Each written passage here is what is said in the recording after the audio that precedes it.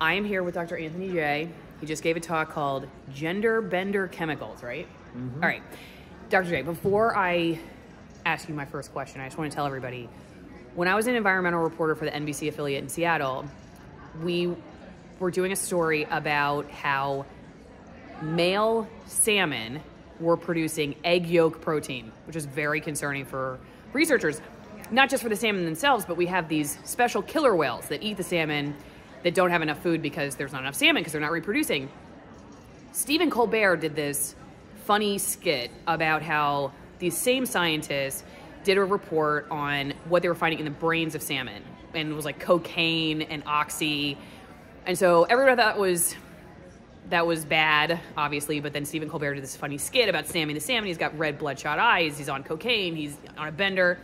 And when I when I interviewed the scientists, they were like, "Yeah, that's not great." But what we're the most concerned about are these estrogenic compounds in the water that are basically turning male fish into female fish.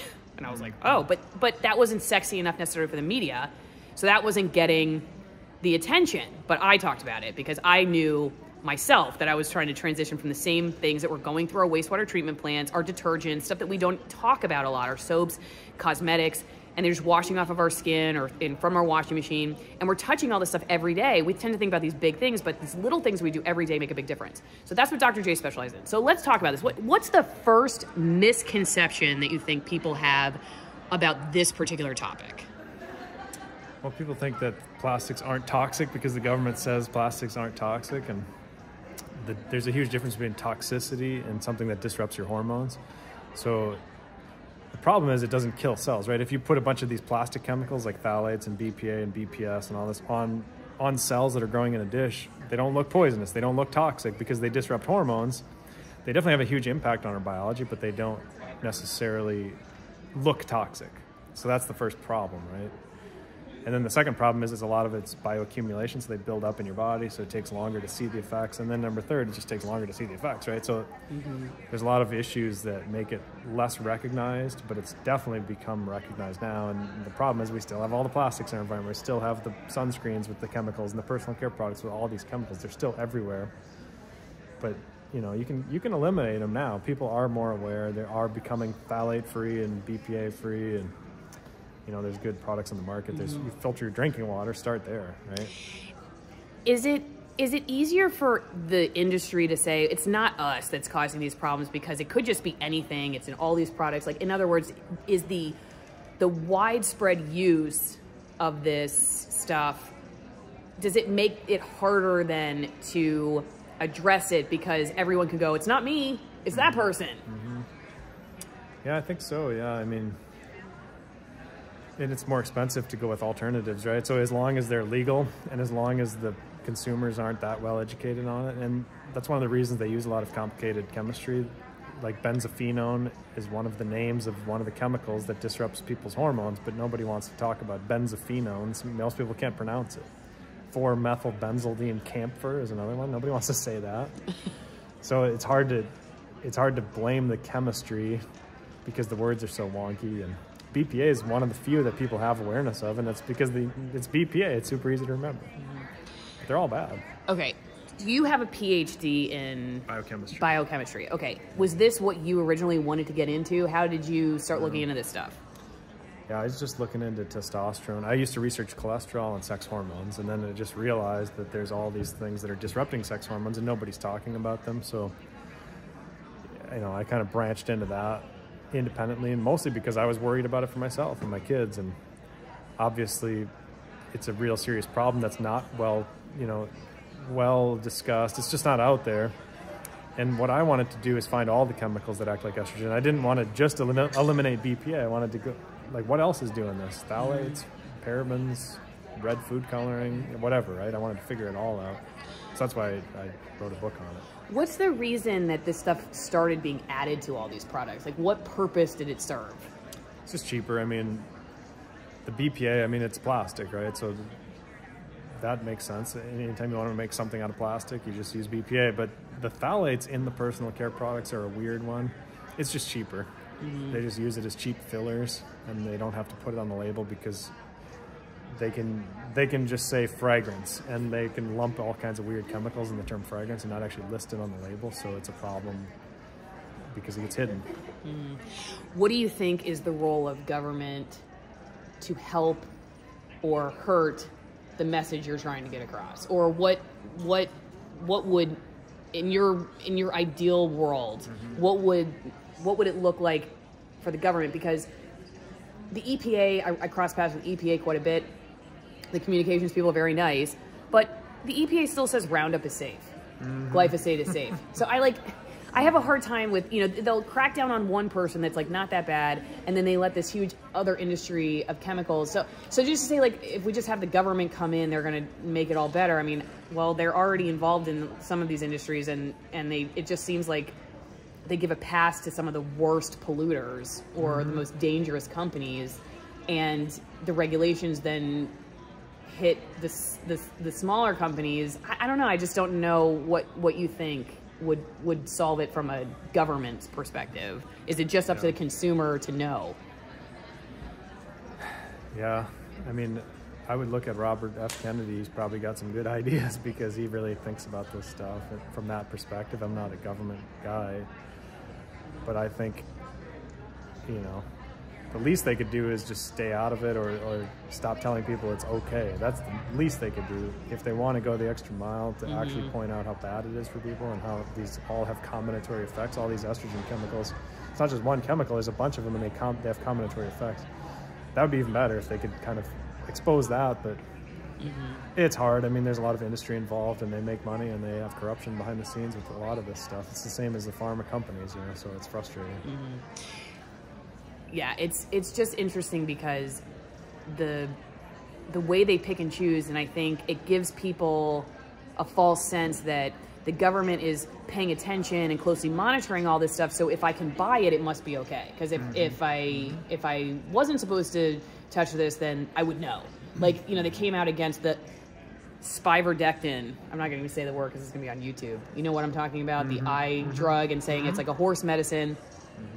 So when we hear them do messaging, negative mes- messaging like that about something, we think, okay, like if those of us are not paying attention necessarily, just going along trying to get our day done, we think, oh, okay, the government is telling us what's bad because they told us about spiverdectin being bad, which, anyway, we're not going to go, you know, what their point of the horse medicine was, but, but, um, but but then we have this false sense that if we don't hear them saying something negative, it must be okay. So I, I think it's just even it's a subtle thing. We just we just, just I, I went along for a long time as a reporter thinking that the government was like on it, you know, and there mm-hmm. is a so you know I didn't if they told me something in a press release was okay or told me a doctor was doing something bad, I just assumed they were giving me the objective truth. I didn't realize how much spin there is mm-hmm. in communications departments, you know, that we're basically funding as taxpayers, putting that stuff. Mm-hmm. All right, what's the Yeah. one thing a consumer should do to to begin the journey that you talked about today?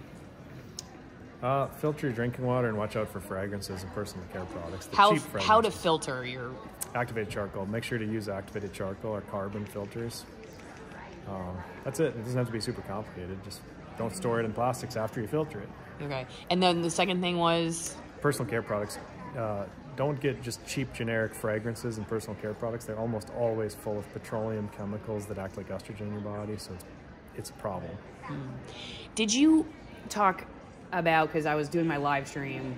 Did you talk about how this presents in in a person who might say, "Oh, I have symptoms of being affected by this stuff"?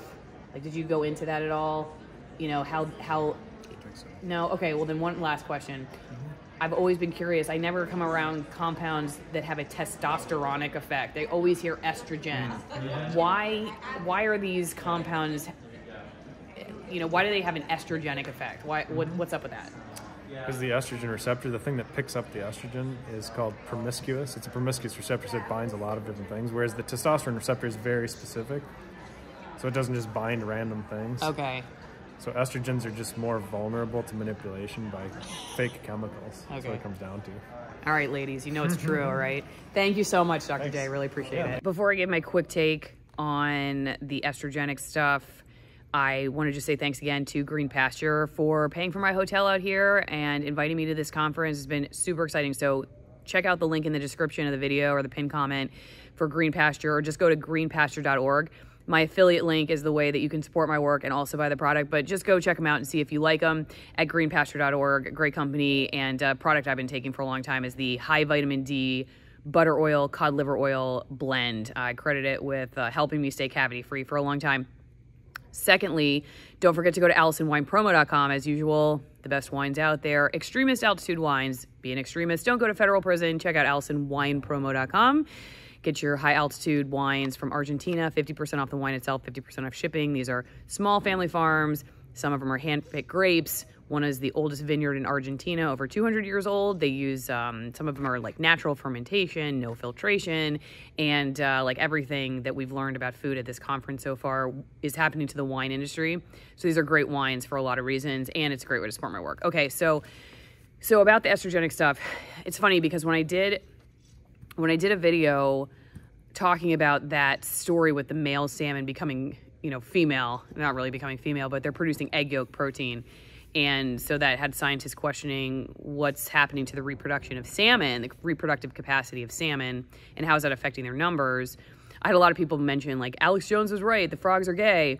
And anyway, it's funny because people laugh about that, but there there really is a serious problem. And and people think about what goes through wastewater, they just think it's like people dumping their pills down the toilet or something. But it's it's again, it's like these everyday these everyday products that we're touching that just wash off our skin. And they're not treated in wastewater treatment. They're going straight into our waterways. And you know it's it's so interesting to me like this this divide over climate change which was something i never questioned when i was an environmental reporter in tv news really. I didn't but I wonder now sometimes if the focus on that is intentional because because it divides people over I care about the environment or I don't care about the environment. In other words, if you don't totally buy into or at all buy into uh, the the fear of climate change, then you just don't care about the environment. And some people go, they kind of like walk away thinking that that that is what it means to care about the environment is to like have a take on climate change. And that's the only thing the media like ever discusses. And so it keeps our focus on this highly divisive, highly polarized, highly politicized topic when there are so many problems with our natural resources that deserve immediate attention. And this is one of them. This is this is a real problem. Plasticizers, phthalates, petroleum products, it's not just a problem for our health, it's a real problem for our wildlife. And we just keep beating the drum of climate change. And to me, I mean, I'm not trying to say there's like a Wizard of Oz out there that's pulling the string specifically, though. Maybe there is. I'm just saying somehow it just seems like, however, however intentionally orchestrated it is, that this particular issue to me is a top five. And climate change, like, I, I think the the amount of drum beating it gets is it intentionally to distract from issues like this? Because this deserves a lot of attention. And maybe it doesn't because pharmaceutical companies, for instance, which are involved in a lot of this, uh, or cosmetics, um, you know, these these companies, Johnson and Johnson, or whatever, they they're they're big players in the you know, in in the the estrogenic problem. So do they do they have some role in all this? I don't know. I mean, big oil is involved in the whole climate change thing. They'll tell you, you know, we're responsible or whatever now. So they they, they play into all of the political stuff now. I don't know. I, I just think whenever I whenever I consider this topic of the the estrogenic the estrogenic toxins I, I just it just really brings me back to how much how much we have been we have been um, manipulated, brainwashed. Whether, like I said, it's intentional or unintentional, we have we have been we have definitely been trained to think of environment as climate change. You care about the environment, you care about climate change. You don't care about climate change, you don't care about the environment. And then so people who might otherwise actually be interested in all these other topics, they just kind of tune out when you say you care about the environment because they, they think what you're saying is you drive a Prius. And I drive a diesel truck, but I do care a lot about the environment. And this is one of the topics that I care the most about, that, that I, I would like to get the word out the most about. And, and it's very simple. That's the other thing. It's like you don't need anyone to change this for you. You could just go buy new soap and new detergent and look at what's in your food, preservatives, pr- your perfume. This is all stuff you can do tomorrow. You don't need the government to do for you. You don't need a, a pharmaceutical company to do for you. You don't need your doctor to do for you. You don't need it. You can do it. So it's like maybe that's what scares them is that we can all do it and we can do it now. we don't need anybody to do it for us. Anyway, what do you think? Uh, leave me a comment. I'd love to hear from you. See you in the next video.